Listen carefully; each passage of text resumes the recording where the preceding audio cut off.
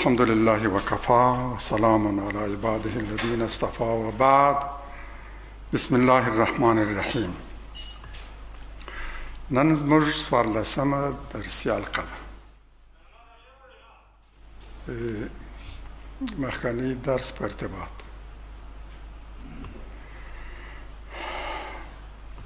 مخکنی درس کې مو ولیدل چې قران د عالم د سه معرفي کوي چې دا د الله تعالی ملک دی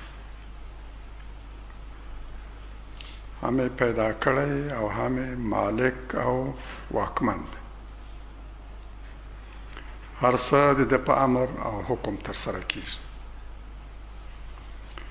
که لمر راخېژي او لوېږي، که وریځې په اسمان کې خوځي، باران او واوره ترې ورېږي، که ونه او بوټی له ځمکې راټوکېږي او دانه او میوه ورکوي، که ژوي پیدا کېږي، ستر کېږي او مري، هر څه او هر کار الله تعالی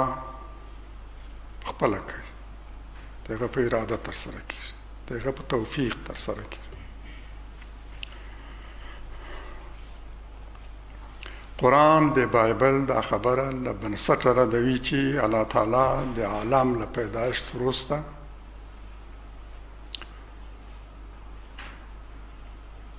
د عالم د نوې پیدایښت په عالم کې د نوې پیدایښت لړۍ متوقف کړه شپږمه ورځ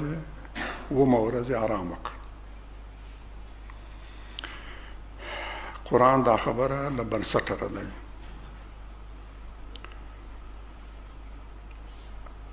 ګواکې هغه ستومانه شو آرام یې وکړ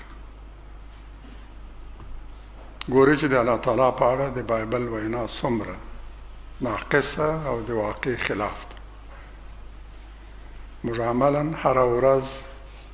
پیدایښت په خپلو سترګو ګورو چې په مسلسله توګه روان دی یو شیبه هم نه متوقف کېږي نوي شان پیدا کېږي زاړه مري له منځه ځي او ځای نوي شان نیسي د پیدایش او خلقت لړۍ یو شیبه هم نه دی متوقف شوی د قرآن وینا په دې ارتباط ډېره دقیقه علمي او د واقعیت مطابق ده آیا یو عقلمن انسان به هغه خدای ومني چې ستومانه کېږي او آرام کولو ته اړ کېږي او د خپل ملک چارې او واګې خپلې مخې ته پرېږدي تاسو خدای دا یو مؤمن انسان منل شي او نه هم یو عقل من انسان الله تعالی په ونه کې یو ورځ د دې لپاره د تعطیل او رخصتۍ ورځ نه د ګرځولې چې د په خپل عالم په شپږ ورځو کې بشپړ کړ او ومه ورځ آرام وکړ الله تعالی عالم پیدا کړی او له پیدا کولو وروسته یې د دې عالم چارې په خپل واک کې اخیستې دي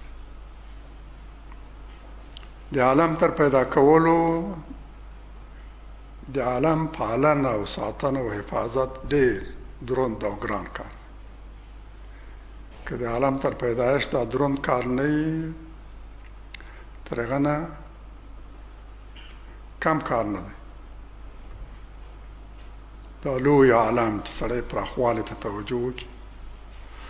تر دوه ټریلیونه زیات ستورلیکې او کاکشانونه او په هر یوه کې یو سل شل میلیارده ستوري چې ډیری یې هم زموږ تر لمر لوړ زیات ستر د دې ټولو ساتل څومره ګران کار دی پیدایش دې په یو انفجار سره و یو انفجار د دې باعث چې دا ټول عالم پیدا شي اما دغه ساتنه او پالنه سونه قدرت غواړي عظمت غواړي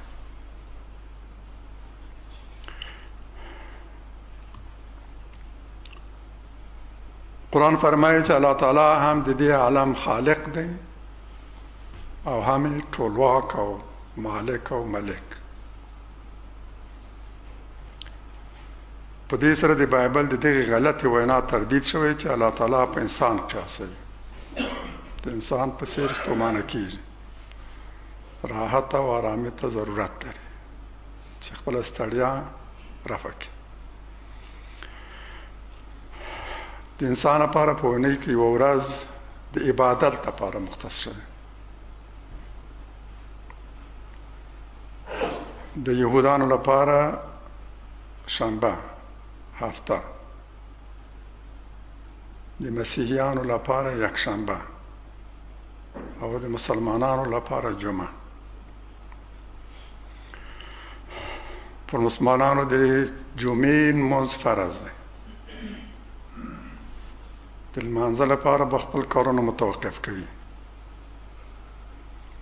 راځي په جمع به جماعت کې په امیر پسې یا دغه نائب پسې لمونځ کوي او د جمعې خطبه به اوري په دې خطبه کې به امیر المؤمنین او دغه نائب که هغه ونه شو توانېدلی د څه عذر له کبله ونه توانېدو چې د جمعې لمانځه کې برخه واخلي او امامت او خطابت وکړي نو دغه نائب به برخه اخلي هغه به امامت هم کوي او خطابت هم او په دې خطبه کې به د اونۍ په مهمو مسایلو بحث کوي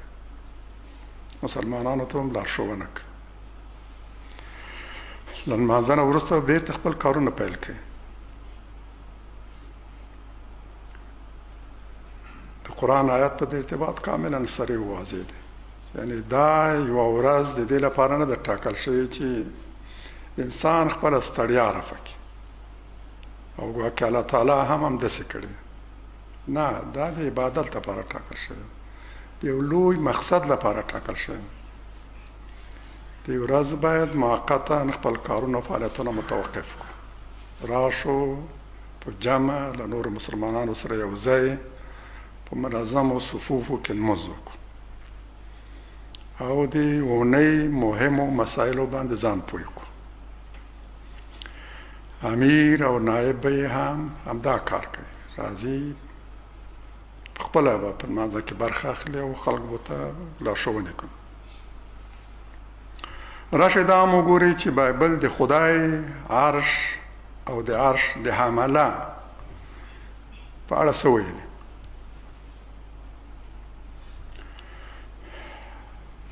بایبل دی حسقیال حسقیال د یهودانو یو نبی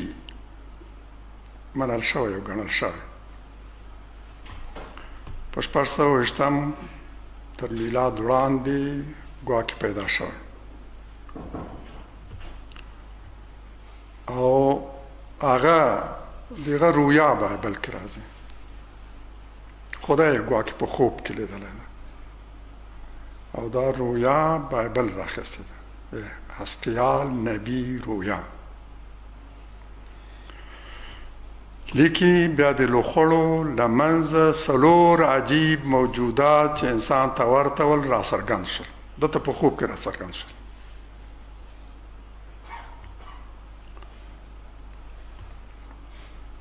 خواري و سلور مخونه او دو جوړي وزرونه درلودل شي هم د انسان شو ته ورته خو ګوتی د سخندر نوک ته ورته بس ګوتی نه سخندر نوک او د زلان د فلز او اوسپنې په څیر ځلیدو دې ته ورته همداسې ځلیدلې د هر وزر لاندې می انسان ته ورته لاسونه لیدل د وزرونو پای سره وصل وزرونه سره وصل یو بل مخکنه د انسان د مخ په څیر دا یو ژوندی شی چې عرش په خپل وجو وړي انسان ته ورته مخه سرور مخونه درلودل مخکنه انسان ته ورته شی د زمری په څیر کېڼې د غوایي په څېر او شاتانه یې د عقاب په څېر هر یوه دوه جوړې وزرونه درلودل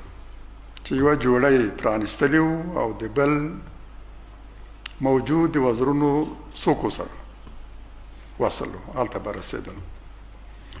او بلې جوړې د دوی بدن پوښلی څلور وزرونه یو جوړه پرانیستي وو د نورو څلورو موجوداتو له هغه سره به وصل وو او دوه به د دوی خپل بدن پوښلی وو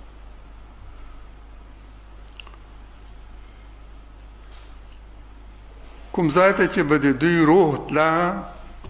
په مغلوري وتلل د دې پرته چې بل لوري ته کاږه شي د دغو موجوداتو په منځ کې د بلو سکروټو په څیر شان خوځېدل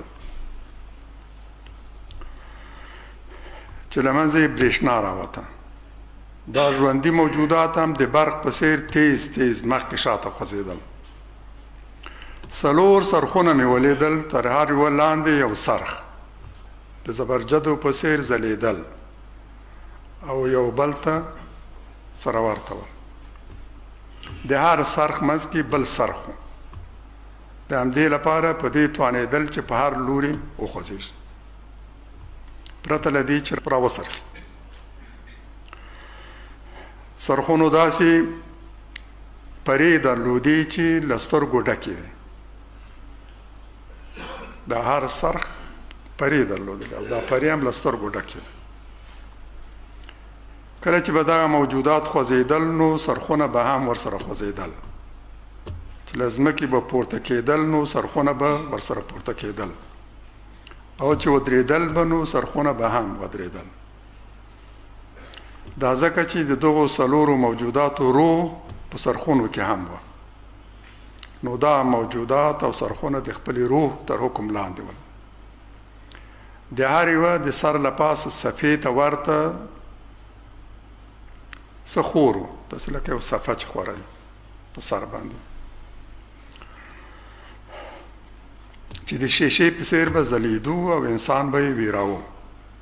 د دغې څپې لاندې د دوی وزرونه داسې پرانیستي وو چې د یوه وزر به د بل وزر ته رسېدو کله چې به الوتل نو غږ به یې داسې و لکه د ساحل د څپو غږ یا د خدای غږ یا د یوه لوی لښکر چغې کله چې به ودرېدل نو وزرونه به یې راټیټ کړل له هر ودرېدو سره به د صفې له سره یو غږ راورېدل کېدو د صفې په سر د یو ښکلي پاچایي تخت په څیر او تخت دسې لکه چې لشنو یا قوتو جوړ شوی او د دې تخت له پاسه داسې ذات ناستو چې انسان ته ورته یعنی د بایبل د خدای عرش له زبرجدو یا زبرجدو ته ورته شي جوړ شوی او دا خدای انسان ته ورته په دې تخت باندې ناس دا تخت چې دغه سلور موجوداتو به حمل کوو سلور حمله سلورو ژوو ته ورته مخونه وزرونه لري لملا پورته داسې بریښېدو لکه په اور کې سور شوی فلز پره برخه لکه په اور کې چې یو فلز سور شوی هم داسې بریښو خدای د انسان ته ورته مخلوق کاملا شبیه د انسان له نیماییان ځلیدو لکه په اور اور کې چې فلز سور شوی او لملا لاندې لکه د اور ځلاندې لمبې لاندې هم ځلېدې او داسې چې د اور لمبې شاوخوا یې نور راتاو او په دې نور کې د بوډۍ د ټال قوس قزا پېژنې انشاءالله هغه چې پسرلی کې په اسمان په لمنو کې را څرګندېږي او متعدد رنګونه لري قوس قزا دې ته ورته رنګونه تر سترګو کېدل د خدای پرتمین حضور دسه ماته را څرګند شو کله چې ما دا سانه ولیده په سجده پریوته حسقیال نبی په خپل خوب کې خدای دغه څه لیدله خدای دغه شکل و صورت دغه عرش په خدای با... په عرش باندې د خدای ناسته استوا او د عرش حمله دلته بایبل د تل په څیر خدای له انسان سره تشبیه کړی له انسان سره توپیر یوازې په دې کې دی چې لملا پورته د سبریشیدو لکه په اور کې سور شوی فلز او لملا لاندې لکه د اور ځلاند لمبې کټ مټ انسان توپیر یې له انسان سره فقط په دې کې چې نیمایي لملا نه بار سور، په اور کې سور شوی فلز ته ورته او لاندې هم د اور لمبو ته ورته شاوخوا یې وایي چې نور راتاو هر شي د پاچانو ښکلې تخته ورته د عرش عملی داسې څلور فرشتې چې هر یوه یې څلور سرونه او څلور وزرونه لري یو سر انسان ته بلې زمری ته بلې غوایي ته او بلې عقاب ته ورته خو حقیقت دا دی چې پیغمبر خو پرېږده هیڅ مؤمن انسان به د الله تعالی په اړه نه داسې خوب وګوري او نه به په خپل ذهن کې داسې غلط او ناقص انځور جوړ کړي متاسفانه متاسفانه چې اهل ظاهر د خدای عرش او د عرش د حمله پړه د بایبل وینا او تورته رای او نظر لري دقیقا دی هم د خدای نه هغه تعبیر لري چې بایبل لري د خدای په اړه د دوی تصور او رای هم دسه ده لکه بایبل له نږدې چې هغوی سره کښېنه او نظرات یې واورې نو درته جوته به شي توپیر ډېر کم دی شکلي توپیر اما په حقیقت کې دوی همغه نظریه د خدای او د عرش او د عرش د عمله په ارتباط لري چې بایبل لري ما ته د بایبل دا وینا د سبریشي لکه یو مثال کې توضیح کوم لکه د انسان د سر په ویشتانو باندې په یوه یو ډله ویروس ناس او یو خواته بل خواته ټوپکې وخیزونه چې او په خپل منځونه کې وایي چې دا خدای به څنګه یې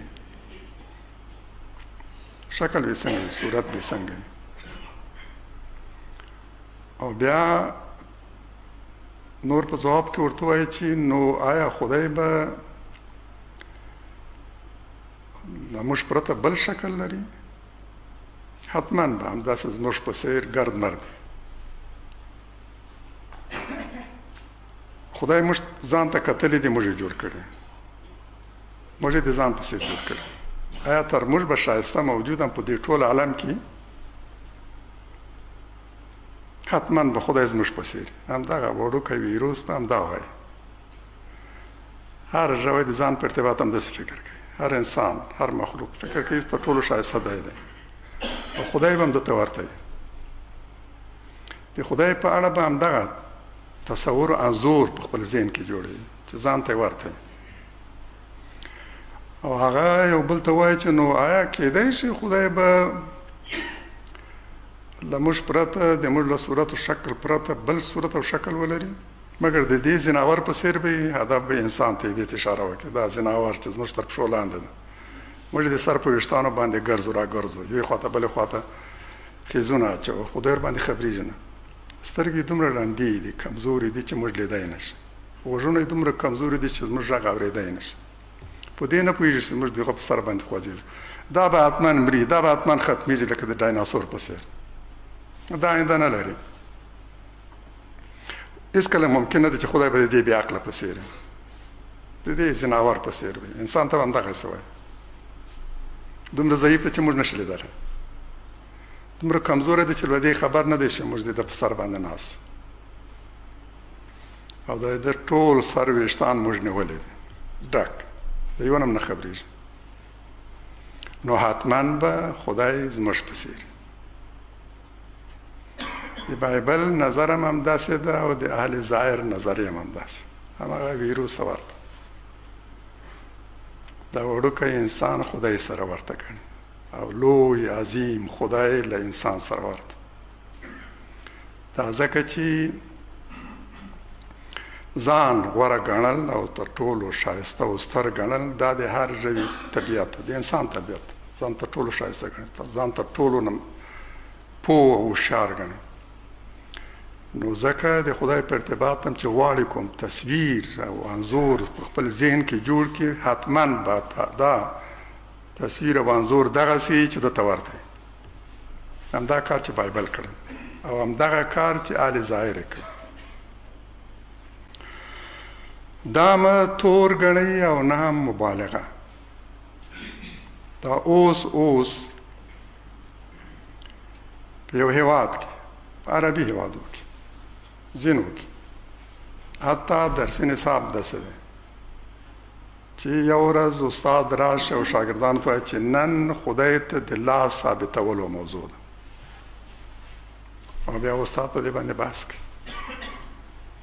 چې خدای د انسان په څیر دوه لاسونه لري بلا تشبیه بلا تکیف دا مسله علاوه کوي خدا بلا تشبیه بلا تکیف څه فائدہ کوي یو طرف ته وایي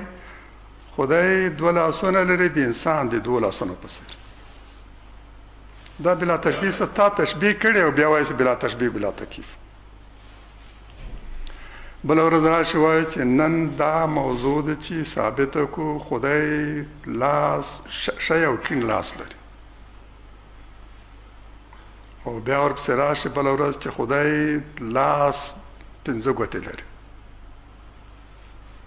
بیا هم داسې وایي چې خدای قدم لري پښه لري او په ځینې روایاتو باندې هم استناد کوي کمزوري روایات له غلط تعبیر سره روایات چې دوی له غنه غلط تعبیر لري دې ته ورته د خدای عرش په عرش باندې د الله تعالی استوا همدا چې حتی دا چې خدای رضا لري خدای ازار لري خدای ساق لري د قیامت په ورځ به ساق بربند شي پونډې لري دا پونډې به د قیامت پر ورځ څرګند شي دی باندې تاکید کوي او غواړي شاګردانو ته دا ثابت کړي دلایل وړاندې کړي مګر آیا کوم انسان چې په سر کې ماغزه وي نه ایرې او بوس هغه په دې قانع شي چې ستر خدای د دې پراخ عالم خالق ټولواک ساتونکی او پالونکی رب د وړوکي انسان په څیر دی د پاچایانو په څیر تخت باندې ناست دی دا تختې څلور څلور سرې فرشتې په اوږو وړي د بایبل له نظره هماغسې چې یو یوه فرشتې یوه فرشته داسې ده چې مخې انسان ته ورته او بلې زمري ته بلې غوایي ته او بل هم عقاب ته د بایبل لیکونکي اورېدلي چې خدای اورېدونکی او لیدونکی دی تورات او انجیل او زبور کې دا راغلی خدای بصیر دی خدای سمیع دی خدای علیم دی همدغه په قران کې چې راغلی دی هر څه ویني هر څه ګوري خپل پیغمبرانو ته یې وحی لېږلی دوی ته یې لارښوونې کړې خپل احکام یې ورته بیان کړي د تورات او انجیل له دغو اظهاراتو د انتباه اخیستې چې خدای حتما د انسان په څیر دی همداسې دوه سترګې دوه غوږونه دوه لاسونه او دوه پښې لري نو ځکه یې مخکې هم ویلي چې خدای انسان ته ځان په څیر انسان د ځان په څیر پیدا کړ او دلته د اسقیال نبی په خوب او رویا کې خدای هم دغه سنځوروي انسان ته ورته موجود دا ورېدلې چې خدای د عرش خاوند دی نو ځکه یې دلته د خدای عرش د ځمکې د پاچایانو له تخت سره تشبیه کړه هغه په دې نه پوهېږي چې په اصل په اصل کې تورات او انجیل او زبور کې د الله تعالی د عرش یادونه د دې مطلب د افادې او بیانولو لپاره شوې چې الله تعالی د دې ټول عالم ټولواک دی دلته د هغه حکم حاکم دی دلته هر څه د هغه په واک کې دی دی د دې ملک مالک دی د دې ملک ملک دی اصلا په هغو کتابونو کې هم همدغه مطلب په دې صیغه راغلی ده لکه چې په قرآن کې راغلی ده د تورات او انجیل دا خبره اورېدلې چې الله تعالی فرمایي که تاسو ایمان او تقوا ولرئ زه به مو یوازې نه پرېږدم تاسو سره به او ستاسو مرسته ملاتړ وکړم هغه له دې وینا دا نظریه را ایستلې چې خدای له اسرایلیانو سره دی اسرایلیان د خدای نازولی قوم دی او د خدای قوم دی خدای قوم دی نو کله چې دوی په بیدیا کې په خیمو کې اوسېدل خدای ته هم د ځان په څیر خو ډېرې ښکلې خیمه جوړه کړه خدای به دلته له موږ سره په دې خیمې کې اوسېږي او چې کله لاړل فلسطین یې ونیولو هلته مستقر شول نو بیا یې یو لوی تعمیر د هغه لپاره جوړ کړ کافي سره زر او سپین زر پکې کارول شوی قیمتي تیږي نو دا شو د خدای دایمي کور دلته به له اسرائیلو سره له بني اسرائیلو سره یو ځای اوسېږي خیمه یې د قدس الاقداس په نامه یاد کړ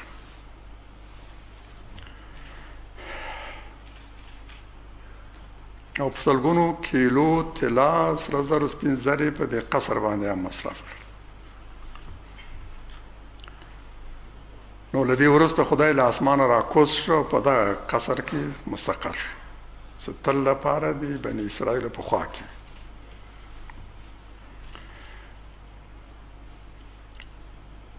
په مجازي توګه کارول شوی الفاظ او استعاری په اصلي معنا ونیول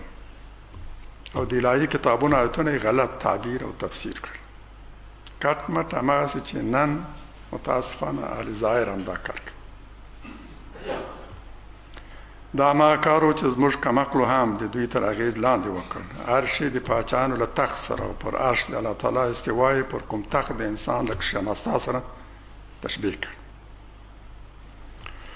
د تورات او انجیل په شمول په ټولو الهي کتابونو کې د الله تعالی د صفاتو او د عرش په څیر د داسې شیانو په اړه هم بحث شوی چې د انسان له نظره پټ دی او انسان په خپل قاموس کې د هغه لپاره نوم نه لري.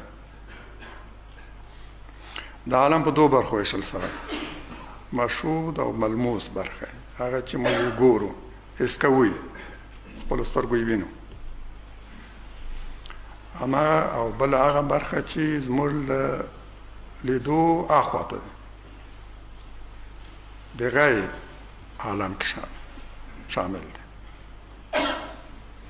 د دغې برخې لپاره چې موږ یې په خپلو سترګو وینو او احساسوو یې، موږ یې درک کوو په خپلو حواسو سره.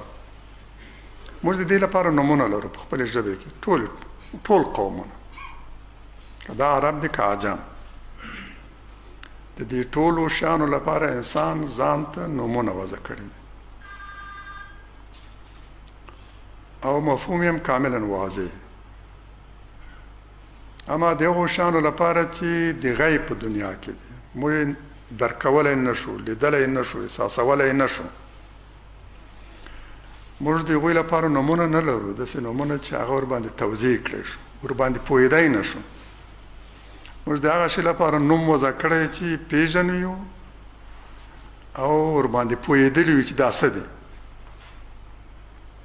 څه استفاده ترکړې درشه څه خصوصیات دی خصوصیاتو باندې هم پوهېږو په دغه نه په استفادې باندې هم پوهېږو او خاص نوم مو دغه لپاره وضع کړ اوس که څوک وغواړي موږ ته هغه شان معرفي کړي چې موږ ورته نوم نه لرو او د عالم لویه برخه پکې شامل ده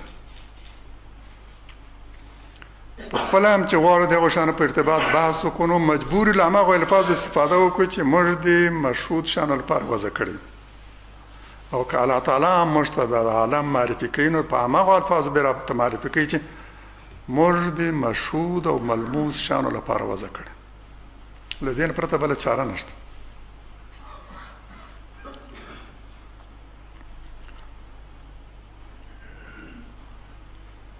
چیرته چې قران غوښتي مشته دغه غیبی شیان زموږ له سترګو نه پټ شیان معرفي کی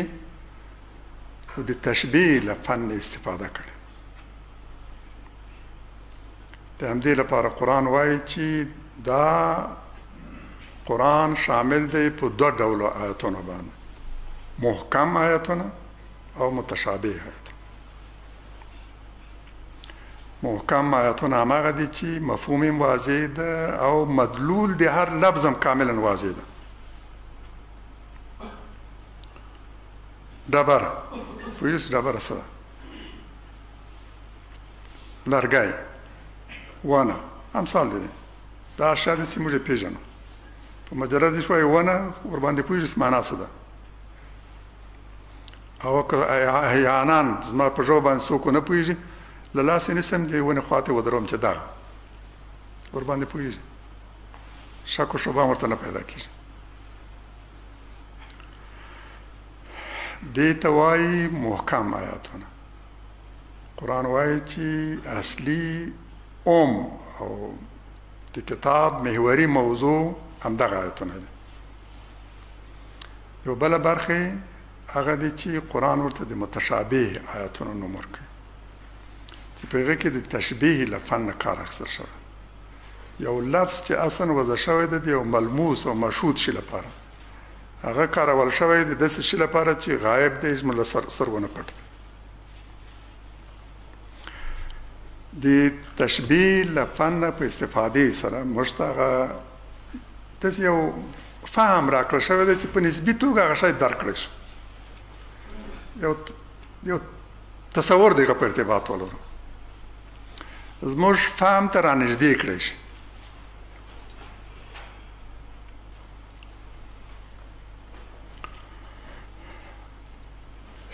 خو دغه الفاظ په اصلي معنا اخیستل د لوی اشتباه ده اصلي مصیبت هم دې جنرال شو سره دغه الفاظ چې د تشبیه په توګه کارول شوی د غیب د عالم یو شی مشتمارفي شوی دی معنوي شان مشتمارفي شوی دی موږ په اصلي معنا واخلو په استعاری کې هم لوی مشکل هم دغه ده د دې په ځای چې د استعاری هغه مفهوم او مراد واخلو هڅه کوو چې الفاظ ترجمه کو او له ستونزو سره مخامخ کیږو د غلطي مرتکب شو کیږو اشتباه کوو او متشابه آیتونو کې په عین ترتیب موږ اشتباه کوو چې دا الفاظ په خپل اصلي معنا ونیسو لکه چې د بایبل لیکون کې د الله تعالی له عرش د پاچا ښکلی تخت جوړ کړی او په انزور یې وړاندې کړی ده په خپلې رویا کې هم دا تخت څنګه دی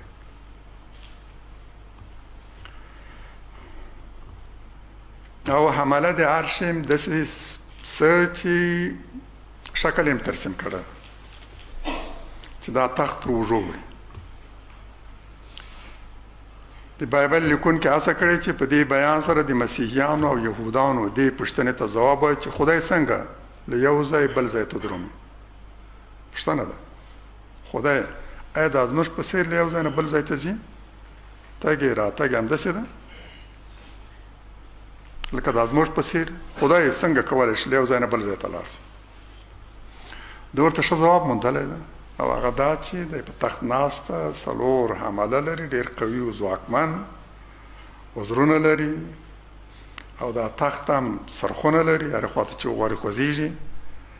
نو الله تعالی دغه سي دغه فرشتو چې په دغه تخت په خپل وجو وړي هر خواته چې وغواړي ما خواته به ولس فرشتي له یو ځای بل ځای ته رسي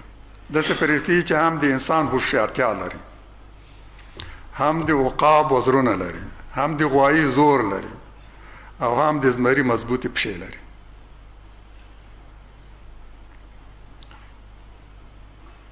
خدای داسې انځور کړ او حمله د عرشم په دې شکل او عرشم هغسې له انسان سره د الله تعالی په اړه یو پوښتنه دا ده چې خدای چیرې دی څه کوي له دې عالم سره تعلق څنګه دی دا پښتنه لار انسان سره شته که څوک غواړي چې دغه پښتنه جواب کړي او په دې پوه کړي چې الله تعالی دا عالم پیدا کړی اداره کوي ساتنه او حفاظت یې کوي دلته هر څه د په حکم تر سره کیږي د دغه مطلب د فائدې لپاره تر ټولو غوره یوازنۍ طریقه دا ده چې هغه ته وویل شي خدای دې دې عالم ټولواک دی لکه چې ته په خپل ژوند کې ګوري ځینې د یو ملک ملک د پاچا د سلطان د اقتدار دغه په لاس کې دغه اصطلاح د ټولواک او پاچا انسان یو چا لپاره کاروي چې په یو ملک باندې حکومت کوي الله تعالی په همدې نامه معرف شو الله تعالی د دې عالم ټولواک ده هم دغه سی لکه چې ته ګوري په دې خپل ژوند کې یو څوک د یو ملک پاچا یي او په عرش په تخت باندې د اقتدار تخت باندې کښینسته یي او د ملک او هیواد کې دغه حکم نافذ خدای د دې زمکه او عالم د دې ټول عالم پیدا کون کوي د ټول وخت د ټول واک اصطلاح د ملک اصطلاح کارول تم دې لپاره د دغه مطلب د افادې لپاره تر ټولو غوره او یوازنۍ طریقه هم دغه ده چې خدای د دې عالم ټولواک دی، پاچا او حاکم دی، لکه څنګه چې د یوه چا د پاچا کېدو په اړه وایې، د پاچاهۍ پر تخت کښېناست، همدغسې الله تعالی خپل ځان معرفي کوي چې هغه د دې عالم د عرش مالک دی، په عرش استوا کړې، د دې عالم ټولواک دی. دلته به ټول کارونه دغه په امر تر سره کیږي په الهي کتابونو کې دغه استعاره پر عرش استوا د دغه مطلب د افاده لپاره کارول شي چې الله تعالی د دې عالم ټول واک دی امور د د په واک کې دي او د دې عالم د پاچاهي پر عرش استوا کړ عرش او پر عرش استوا هغه الفاظ دي چې انسان د یو پاچا د واکمنۍ او قدرت او قدرت ته د رسیدو لپاره کاروي په کوم آیتونو کې چې د الله تعالی لپاره د الفاظ راځي دا متشابه آیتونه دي په هغه کې د تشبیه لفظ نه استفاده شوه ځینې داسې فکر کوي چې ګواکې دا متشابه آیتونه هغه دي چې انسان په شبهه کې اچي اشتباه کړي حقیقت دا دی چې متشابه آیتونه هغه دي چې په هغه کې د تشبیه لفظ استفاده شوی سروش وینا مې اورېدلې د متشابهاتو په ارتباط لکه چې د نورو ټولو قضایرو په ارتباط سخت اشتباه کوي دلته هم ویل چې متشابه آیتونه کوم دي او څنګه به ثابتو چې دا متشابه دی مګر د ټولو آیتونو په ارتباط عین فکر نشو کولای چې دا متشابه دی حال دا چې که انسان لږ غور وکړي نو ډیر په اساني او ژر پوهېدلی شي چې د قرآن کوم کوم آیتونه متشابه دي ځکه وغواړم فرصت ولرم نو د قرآن ټول هغه آیتونه به راغونډ کړم او د همده په مخ کې به چیرځم چې دغه دغه آیتونه ټول متشابه هغه آیتونه چې په هغه کې لفظ د تشبیه استفاده شوی دا هغه آیت متشابه ډیر په اساني سره پوهېدل شي چې متشابه آیتونه کوم دي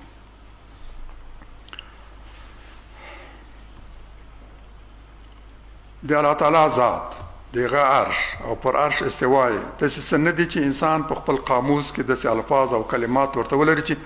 په مرسته يې په دقيقه توګه تشريح کړای شي. ناچار به په داسې الفاظو معرفي کېږي چې په اصل کې د انسان له لوري د مشهود او ملموس شانو لپاره وضع شوي او د تشبيه له لارې به د انسان ذهن او فهم ته رانږدې کېږي. په متشابه آیتونو کې راغلي الفاظ په متبادره او متداوله معنا نه شخصله په هغه معنا چې موږ دې لیدلو هغه شانو چې په سترګو یې ګورو دی غل لپاره وځ کړی په هغه معنا نه شخصله یعنی نشو ویلای چې عرش دغه څه دی لکه د ځمکې او تخت په عرش باندې استوا داسې ده لکه په یو تخت باندې د انسان ناسته کرسی باندې د الله تعالی استوا داسې نه ده لکه په انسان چې په یو کرسی باندې کښیني په دې معنی به یې نه اخلي متداوله متبادره معمول معنا به د الفاظ نه اخلي قرآن وایي چې په اصلي معنا یې له الله تعالی پرته بل هیڅوک نه پوهېږي تر کومه ځایه چې د انسان عقل قد ورکوي او درومي پوهېدلی شي تر هماغه ځایه پورې الله تعالی مخکې تللی او موږ ته وضاحت کړی د غیب عالم شان موږ ته معرفي کړی په همدې به اکتفا کوو له غرور او تکبر به ډډه کوو ستا عقل محدود ده د وزرونو ځواک دې هم کم ته دې ځای پورې الوتلی شي لږه نه مخکې نه شي تللی دلته به توقف کوي په هماغه حد کې به توقف کوي چې الله تعالی غوښتي او تا ته یې معرفي کړي اما په تعویلي په ماهیت په حقیقت د الله تعالی پرته بل څوک نه پوهېږي په عرش باندې استوا څنګه ده موږ نه پوهیږو د الله تعالی عرش څنګه ده نه پوهیږو دونه پوهیږو چې دا مکان نه ده دونه پوهیږو دا د ځمکې د تخت په سیر او تخت نه ده دومره پوهیږو چې په عرش باندې د الله تعالی د استوا معنا او مراد دا ده چې الله تعالی د دې ځمکې او عالم ټولواک دی له دې نه اخوا توقف کو او همدا به وایو چې قرآن موږ ته لارښودل لارښوونه کړې وما یعلم تأویله الا الله په تعویل تعویل اول ته ګرځول دي اصل ته بنیاد ته ګرځول دي دا لومړی حالت ته ګرځول دا کار دی چې الله تعالی پرته بل څه قربان نه کړي پام کوه چې د فرشتو په ذره د الله تعالی د عرش هم او وړل داسې ونه ګڼي لکه چې په دنیا کې سو کوم تخت پر وژو وړي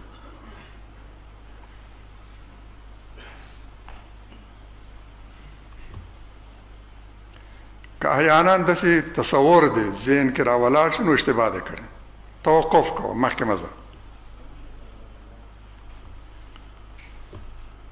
کدا سی تصور د ذهن کې را پیدا شنو تا خدای له مخلوق سره تشبیه کړه دا غلطی ده چې د بایبل لیکون کې وکړه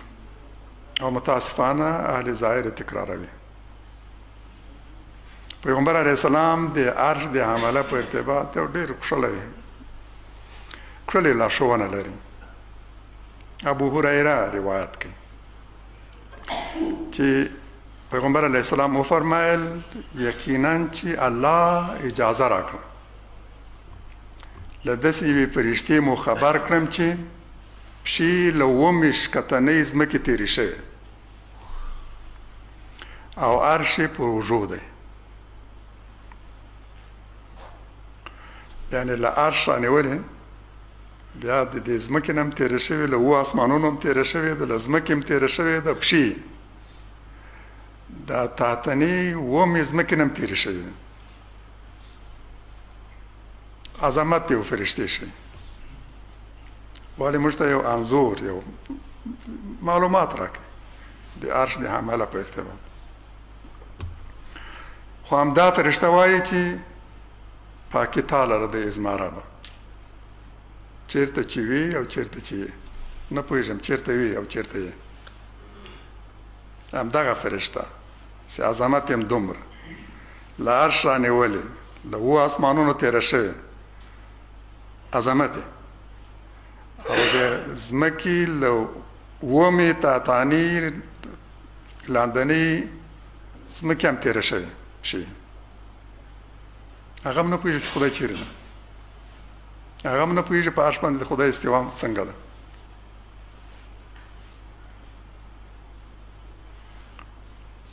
زه یو وړوکی انسان او استعدادونه مې دومره کمزوري چې د یو نری پردې شاته هم څه نه ګورم نه پوهېږم چې دې پردې خواته د شیشې اخواته څه تېرېږي هغه پردې شاته ځنه پوهېږم څه دي او څه روان دي زه راځم او جسارت کوم او وایم د الله تعالی د ذات په ارتباط غواړم بحث وکړم مغرور هم یم او فکر کوم چې بس ډیر کمال مې کړی دی خدای مې له انسان سره تشبیه کړی دی دې سوال ته مې ځواب موندلی چې خدای څنګه ده دې سوال ته مې ځواب ویلی چې د خدای عرش څنګه دی او حمله یې څنګه دی بایبل هم دا غلطي کړې ده هر څوک چې دا کار وکړي اشتباه یې کړې دا با عظمته فرشته هم نه پوهېږي چې خدای چیرې دی څنګه چیرته وو او چیرې دی چیرې وو اوس چیرې دی او سبا به چیرته وي په عرش باندې دیغه د الله تعالی استوا څنګه ده فرشتہ هم نه پوهیږي حمله د عرش هم نه پوهیږي د حمله د عرش هم داسې نه دی لکه د انسانانو په څیر لکه دا بایبل چې ترسیم کړی دی کنه یوې انسان ته ورته بلې غوی ته ورته بلې سمری ته ورته بلې هم عقاب ته ورته وزرونه لري او پښې لري او د الله تعالی عرش حمل کوي په خپل وجود دا دوی انځور کړي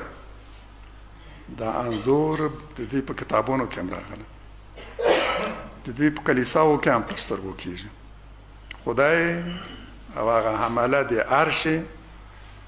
چې خدای په خپل وجو وړي ده په بایبل کې هم راغلی راشي بایبل وګورئ چې همدغه راغلی دا څه چې ما تاسو ول ترجمه ده دقیقه ترجمه ده بایبل د چې د الله تعالی په ارتباط او د عرش او د حمله په ارتباط کې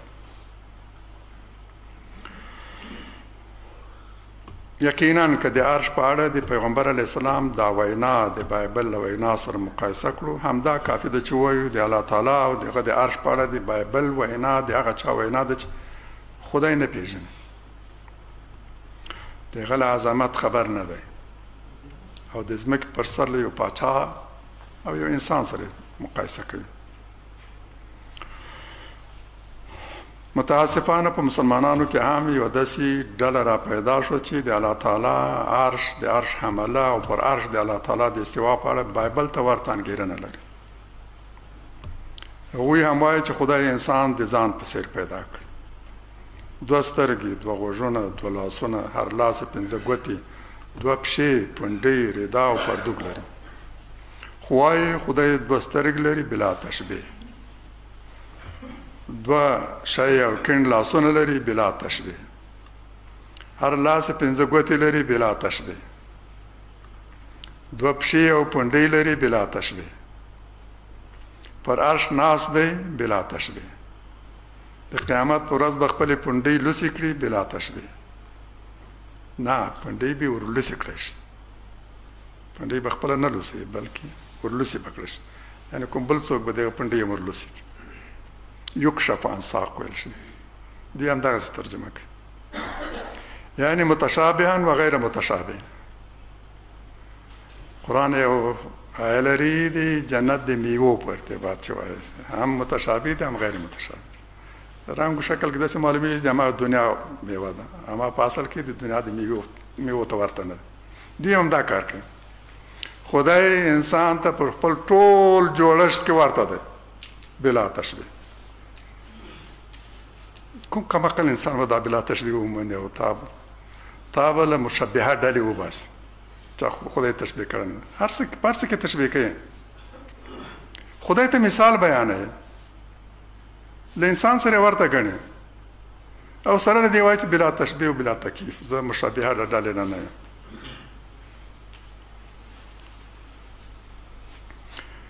متشابها و غیر متشابه هم سره ورته او هم نه ورته دوی هم له الله تعالی کټ مټ یو انسان جوړ کړي د الله تعالی عرش هغه سي غني لکه د کوم پاچا تخت او پر عرش د الله تعالی استوا هغه سي لکه پر تخت یو پاچا ناست لدی سرګند او قبی تشبیه ورسته د بلا تشبیه او بلا تکیف لفظ راوړل هیڅ ګټه او معنا نه لري دي ته هم باید متوجي و چې د قران په هرې برخه کې چې د استوا علی العرش ذکر راغلی ورپسې متصل ویل شوي یدبر الامر کارونه تدبیروي یعنی د امور او تدبیر دغه واک دی یغش اللیل النهار شپه پر ورځ راغړی یعنی دا شپه او ورځ دغه په اراده راځي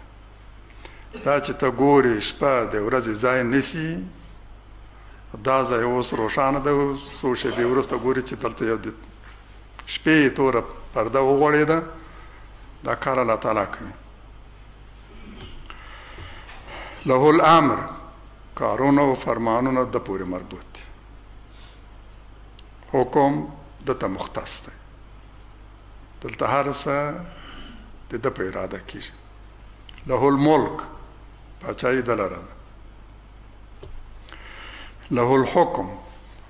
حکمونه صادرول مختص دته دي او دې ته ورته مطالب راغلي او دا شی چې په استوا له لار سره قران موږ ته د لارښوونه کوي چې الله تعالی د دې عالم ټولواک دی د چارو واګي له د سره دی ډیر بی عقل انسان بل دې هغه انتباه اخلي چې د بایبل لیکون کې اخیستي او خپل خدای د یو داسې تخت پر سر کښنول چې سلور سره پښتي یا عمل کوي د قران له نظر څوک چې له عرش د پاچایانو د تخت په سیر تخت جوړوي او له استوا په تخت کښیناستل د د پزړه کې کوژواله دي مؤمن انسان بوای استوا علی العرش و استعاره ده چې انسانان د چا د پاچای لپاره کاروي الله تعالی موږ ته په دغه الفاظ سره شي چې د عالم ټولواک دی او ټولي واګي د په واک کې نه یې عرش کوم تخت ته ورته شی دی او نه یې استوا د انسان استوا ته ورته کوم فعل په تعویل لا الله تعالی پرته بل هیڅوک نه پوي شي بایبل دا هم لیکلي چې خدای و فرمایل زه د انسان په لاس جوړ شوی کور کې نه اوسېږم بایبل دا هم راخلي اسمان می تخت او زمکه می تر پښو لاندې کرسۍ ده تاسو به څنګه ماته کور جوړ کړئ شئ بن اسرائیل ته وایي دا خیمه چې ماته دودروي یا دلته کوم قصر چې زما په نامه جوړ کړی تاسو به ماته څنګه تخت جوړوي څنګه به ماته کور جوړوي او څنګه به په دې کور کې اوسېږم د بایبل وینا ده ایا د اسمان او ځمکه معنی دې پیدا کړي اوس که څوک دا د بایبل دا دوه ویناوې سره څنګ په څنګ کښېږدي او قضاوت وکړي عجیبه ده چې څوک د دې وینا تر څنګ هغه بل وینا هم کوي د چا چې ټول اسمان تخت وي څنګه بل به بل وړو کې تخت هم محتاج او اړ اما بایبل هم دغه تناقض جائز ګڼي شبوي چې دې رائے لږ نور وضاحت وکړم په داسې الفاظو سره چې شای د هر چا سر پرې په اساني خلاص شي کله ما څوک پښتنه وکړي چې الله تعالی عرش لري ورسره د ټولو توضیحاتو چې وشول ورته وایم هو یقینا چې الله تعالی عرش لري که راته وایي الله تعالی پر عرش استوا کړي ورته وایم هو یقینا چې الله تعالی پر عرش استوا کړي که راته وایي لږ مخکې ولاړ شه او مزید وضاحت راته وکړه ورته وایم پر عرش د استوا مراد دا دی چې الله تعالی د عالم ټولواک دی امور یې د ده په واک کې دی د عالم د ده ملک او دی ټولواک دی که مزید وضاحت رانه وغواړي ورته وایم که څه هم د عرش متبادره معنی تخت او د استوا برابرېدا ده خو دا الفاظ د مخلوق لپاره په حقیقي معنی راځي او د الله تعالی په اړه په مجازي معنی دا استعارې دي باید په مراد اکتفا وکړو او له تحت اللفظي ترجمې ډډه وکړو الفاظ یې د الله تعالی په اړه په متبادره معنا نه شو اخیستلی. له دې اخوا زما او زما په څېر انسانان د څه ویلو توان نه لري. همدې حد کې به اکتفا کوم. زه له مخکې تلو عاجز یم. تر دې د زیات څه ویلو توان نه لرم.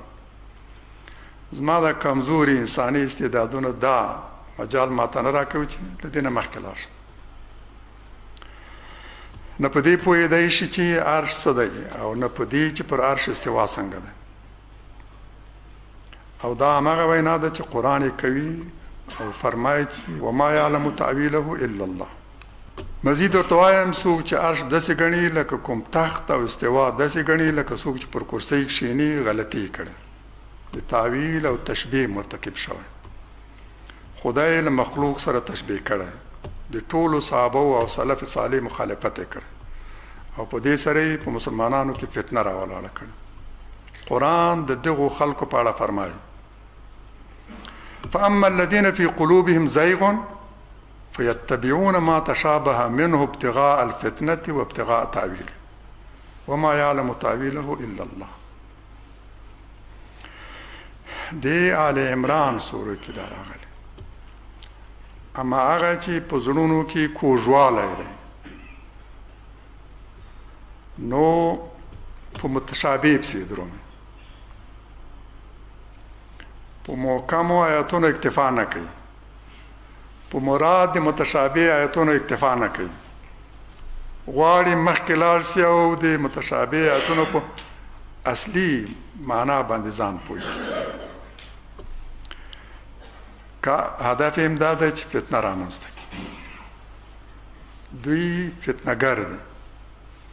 په مسلمانانو کې فتنه راولړي اختلاف رامنځته کوي او غواړي تعویل یې باندې پوه شي وابتغاء تعویل دغه چې په متشابه آیاتونو کې په لانجو کې شکل شوی دی او د همدې آیاتونو لګیا دی دې کې بحثونه کوي هغوی زړونه بیمار دي هدف یې د فتنې راولاړول دي او غواړي چې په تعویل یې پوه شي په داسې حال کې چې په تعویل یې له الله تعالی پرته بل څوک نه پوه شي راشه دی بل آیت وړاندې هم لږ توقف وکړو چې ال ظاهر اول تعویل تعبیر او تفسیر عاجز دی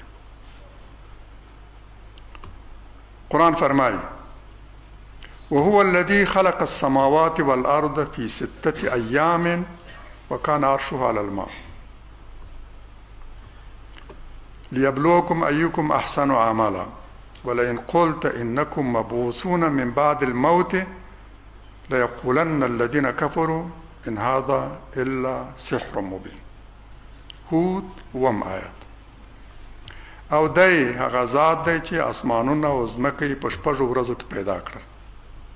او عرش پر اوبو عرش پر اوبو د دې لپاره چې تاسو وازموي کوم یو مو د عمل لمخې تر ټولو غوره دی او کته وای چې تاسو بل خپل مړینه ورسته هرو مرو را پاسې ژوندۍ بشئ نو هغه چې کفر یې کړی حتما به وایي دا له څرګند جادو پرته بل څه نه دی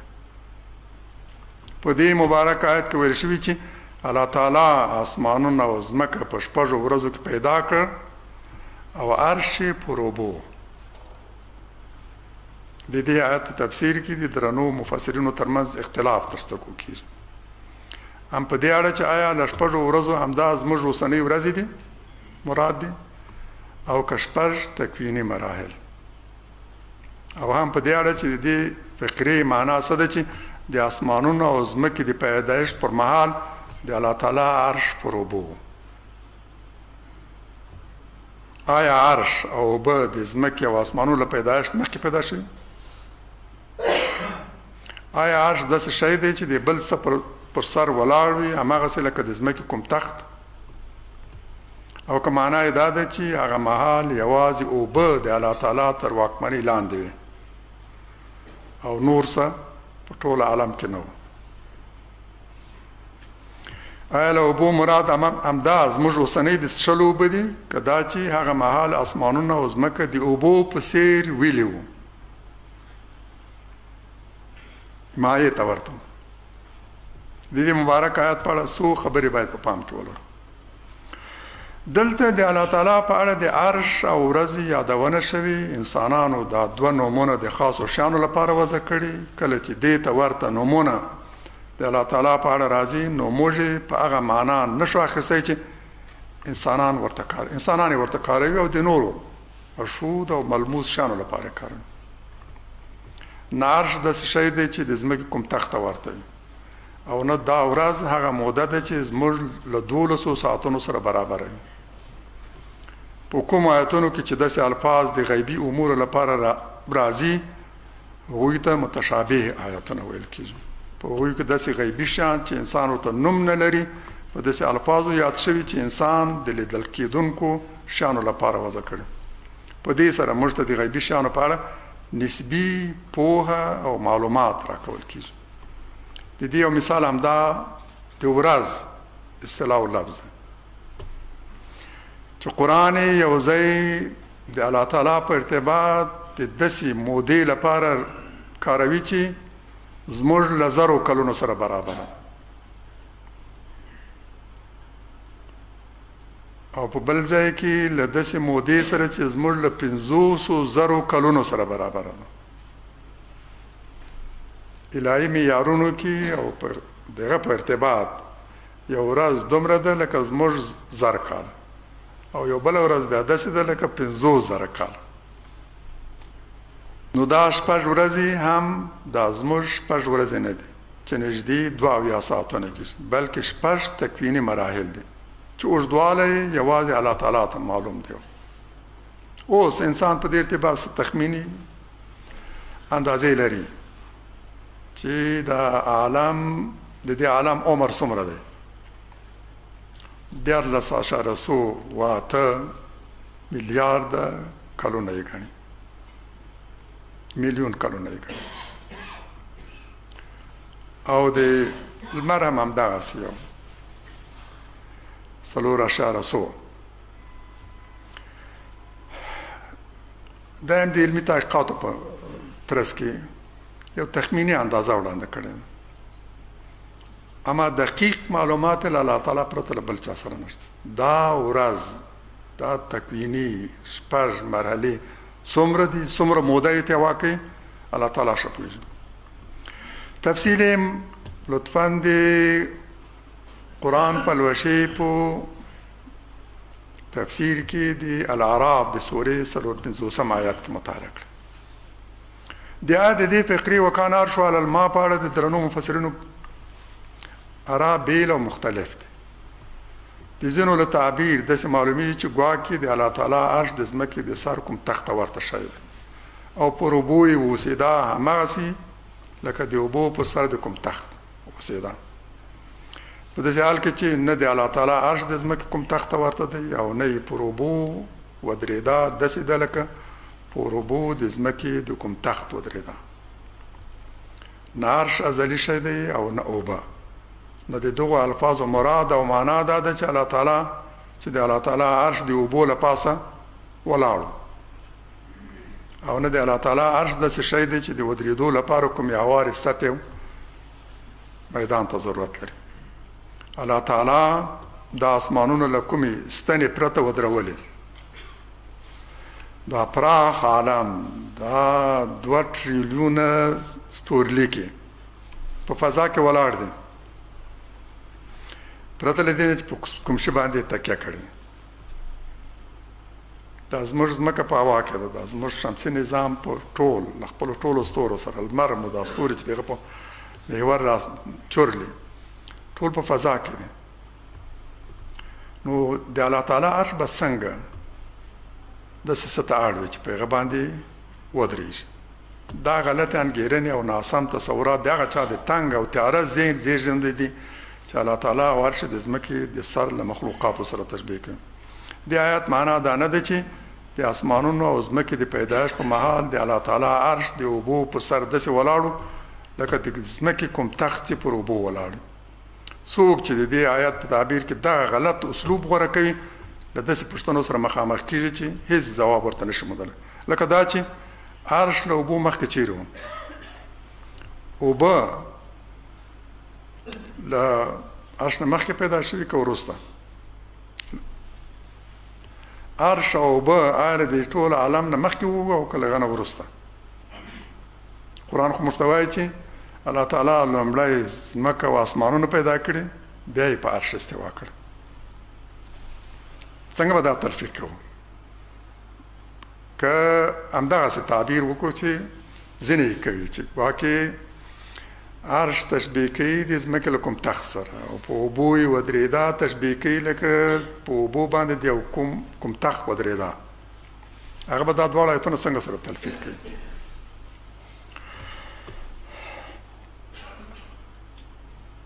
قرآن موږ ته وایي چې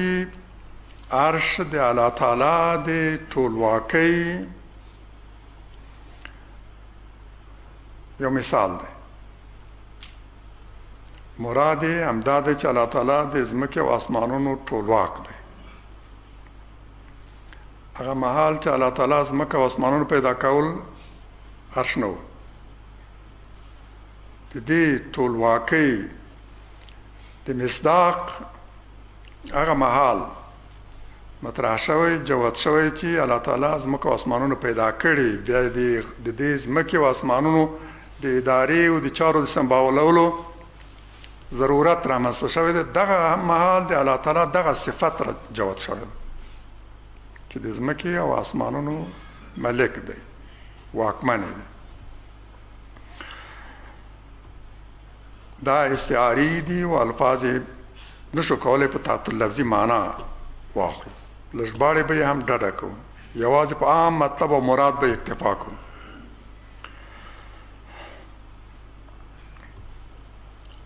د دې آیت له داسې تفسیر او تعبیر باید ډډه وشي چې له بل آیت سره تعارض ولري لکه چې مخکې ویل شو چې الله تعالی فرمایي چې زمکه او اسمانونه پیدا کړل په داسې حال کې چې په شپږو ورځو کې بیا په عرش باندې استوا وکړ دی وعد په اصلي مطلب هغه مال شپویده شو چې وګورو په کوم مناسبت راغلی د باس اصلي موضوع یې څه ده تر هغه مخکې وروسته څه ویل شي که دلته د قرآن په هغه برخه کې لږ ځیر شو چې همدغه آیت راغلی د آیت د مخکنی آیت سره ژور ارتباط لري په مخکنی آیت کې ویل شوی چې د ټولو ژو او ساکشو روزي د الله تعالی په ذمہ ده همغه الله چې د دوی د پیدایښت او مړینې نه دی لنیټه خبر ده آیت هم داسې ده وما من دابه فی الارض الا علی الله رزقها ويعلم مستقرها ومستودعها کل فی کتاب مبین هود شپږم آیات یعنی چې الله تعالی پس مکه کې هیڅ داسې خوځېدونکی ژوی نشته چې روزي د الله تعالی په ذمه نه وي ټولو ته الله تعالی روزي ورکوي ويعلم مستقرها ومستودعها د پیدا کېدو له نیټو یې هم خبر ده د ودا او د تلو له نیټې نه کله پیدا کېږي او کله ځي چې یو څوک غواړي د چا لپاره د رزق مقدار وټاکي د رزق د رزق ذمہواري نو هغه به ګوري چې څومره را پیدا شوي دي او څومره ځي دا دواړه به په پام کې نیسي بیا به د رزق او روزي انتظام ورته کوي څوک نوی راغلی پیدا شوی او د بل ځای نیولی تللی ده څومره اضافه شوی دی څومره کم شوی دی دا ټول به په پام کې نیسي بیا به ورته رزق وضع کوي الله تعالی چې څه پیدا کړي دي په مستقر هم پوهېږي په مستوده هم پوهېږي کله تقرر مومي او کله درمې رخصت کېږي د دې ټولو خبر ده او د ټولو روزي په خپله ذمه اخیسته ده د بحث موضوع اصلا ژو ته روزي ورکول دي په همدې ارتباط دا آیت راغلی دی چې چې الله تعالی زمکه اسمانونه پیدا کړی دي په داسې حال کې چې عرش پروبو پویږو چې د انسان د رزق او د روزي او د ټولو ژو د رزق او د روزي تر ټولو مهم او اساسي اسباب څه دي دا ځمکه ده چې لغنه دانه او میوه راشنه کیږي دا اسمان ده چې لغنه باران او واوره وریږي او دا اوبه دي چې د انسان ژوند په غپر تړلی دی لومړی مخلوق او ترکیب چې د ځمکې په سر پیدا شوی ده اوبه دي ساينس هم د څه وایي ساینس وایي لومړی عنصر چې د ځمکې په سر جوړ شوی هایدروجن د لمر اوس لویه برخه هایدروجن دی معمولی برخه هم هیلیوم دی چې له دوه هایدروجنه جوړ شوی اتم عنصر چې په ځمکه کې پیدا شوی اکسیجن دی هایدروجن د اوبو له دریو برخو نه دوه برخې دي یعنې د اوبو دوه اساسي اجزا هایدروجن او اکسیجن دي دوه برخې هایدروجن لومړی عنصر چې په ځمکه کې پیدا شوی دی هایدروجن دی لومړی ترکیب چې رامنځته شوی دی اوبه دي وکان عرش علی الماء معنا دا ده چې په دغه محل کې چې الله تعالی ځمکه او اسمان پیدا کړي نو دغه تر عرش لاندې فقط اوبه وي او دا اوبه دي چې ټول ژوي ترې پیدا شوي د انسان د ژوند د حیات تر ټولو لوی عنصر او ماده اوبه دي او تر ټولو زیات اوبو ته ضرورت لري خپل رزق او روزي کې تر ټولو زیات اوبو ته ضرورت لري به خوراک ډیر وخت ژوندۍ پاتې کېدل شي په اوبو نه نه تر ټولو مهم عنصر زموږ د رزق روزي اوبه دي نو د دې آیات اصلا مراد دا دی چې دغه مهال چې الله تعالی زمکو اسمان پیدا کړ نو یو مرحله داسې راغلې ده چې دغه تر عرش لاندې بل ترکیب له اوبو پرته نو وکانه عرش علی الماء دا ده دا ځکه چې موږ په تعطل لفظي معنا نشو اخیستلی د ترجمې به هم ډډه کوو داسې څه به نه وایو چې له نورو ایتونو سره تعارض ولري دا تعبیر به نه کوو چې ګویا عرش تر ځمکې او اسمانونو مخکې پیدا شوی